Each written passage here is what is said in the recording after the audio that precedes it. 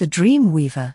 The sun was setting over the small town of Millfield, casting a warm orange glow over the streets. As the last of the day's shoppers made their way home, a young woman named Lily walked down Main Street, her eyes scanning the shop windows. She had lived in Millfield her whole life, and she loved the town's familiar sights and sounds. But tonight, something was different. As she turned the corner onto Elm Street, she saw a strange figure standing in the middle of the road. It was tall and thin, with long, spindly arms and legs, and a face that was twisted into a grotesque grin. Lily froze, her heart pounding. Was this some kind of monster?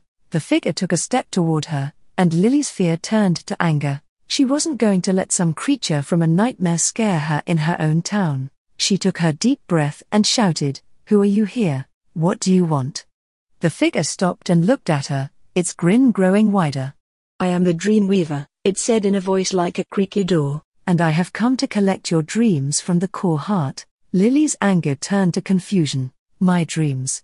What do you mean? The dream weaver reached out its bony fingers toward her head. You have the most wonderful dreams, Lily, it said.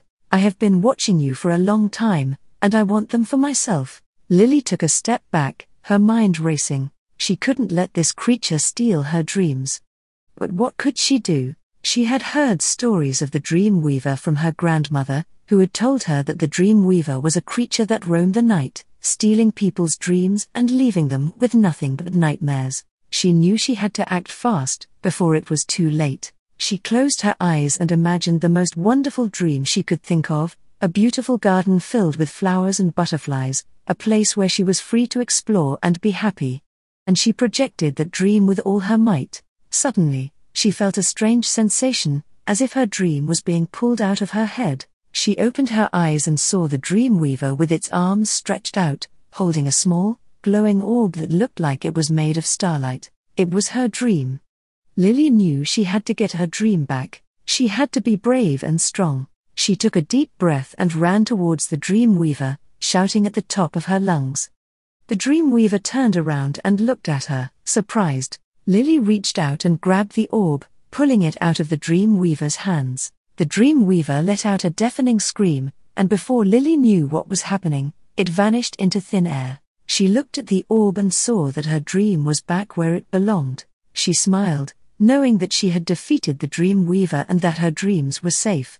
Feeling victorious, she walked back home with a warm feeling in her heart, knowing that from that day on, she would be able to dream without any fear she knew that the dream weaver would never be able to steal her dreams again, because she had learned to protect them. From that day on, Lily became known as the protector of dreams in her town. People would come to her for help and advice when they were having trouble with their dreams.